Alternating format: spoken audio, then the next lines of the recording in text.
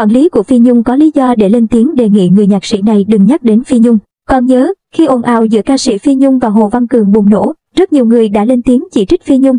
Trong đó có nhạc sĩ Hồng Sương Long đã nhiều lần lên trang cá nhân để bên vực Hồ Văn Cường và kể xấu Phi Nhung. Nhạc sĩ Hồng Sương Long từng nhiều lần chỉ trích Phi Nhung. Ấy thế mà mới đây, khi Phi Nhung đã qua đời thì nhạc sĩ Hồng Sương Long lại có bài đăng tưởng nhớ của ca sĩ.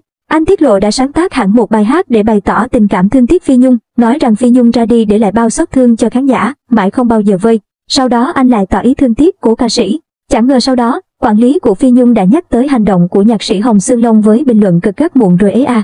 Chúng tôi không muốn nhắc tới, xin đừng nhắc tên. Nhiều khán giả cũng thấy khó hiểu trước việc nhạc sĩ này trước đây chỉ trích Phi Nhung, nay lại bày tỏ sự thương tiếc. Có người còn nghi ngờ nhạc sĩ muốn dựa theo tên tuổi Phi Nhung để gây chú ý.